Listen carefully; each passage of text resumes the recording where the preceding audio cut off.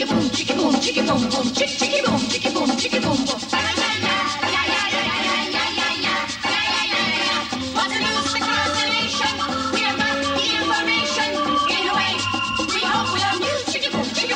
Boom, boom, you, chicka boom, chicka boom, chicka boom, chicka boom. We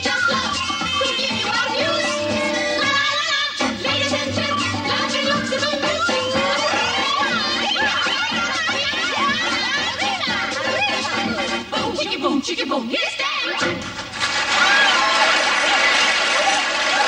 news of the present, here's the man to whom the news wouldn't be the news without the news. Here's Dickie.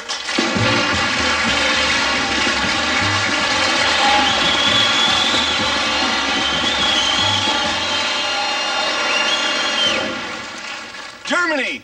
A new world pole vault record of 23 feet was set just before dawn today by Mr. Hans von Stupper, a resident of West Berlin, who was formerly a resident of East Berlin. right up until just before dawn today when he broke the world pole vault record. In Hollywood today, the rash of May December marriages reached the ultimate today when it was learned that George Jessel was at the Cedars of Lebanon Hospital awaiting the birth of his new bride. And now, take it away, Goldie. And now with the news of the future, here's Dickie. Terrific. Two for Blinchen.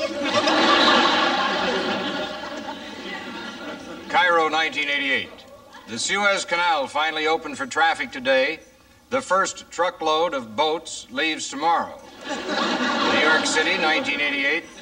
The new version of the Bible with a foreword by Marshall McLuhan Jr. was released today. This 45 page pamphlet includes both the Old and Mod Testaments. New York, 1988.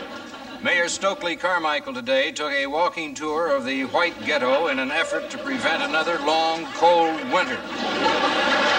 His tour was marred by white militant John Lindsay, who denounced the move as a blatant attempt to sway the white minority.